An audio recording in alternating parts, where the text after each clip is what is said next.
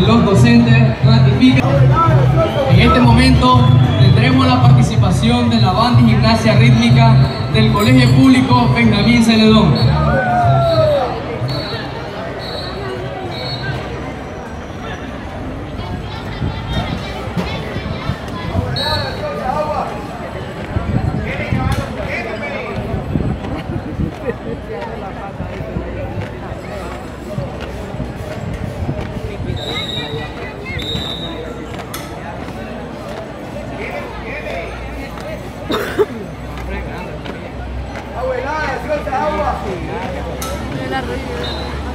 Allá está.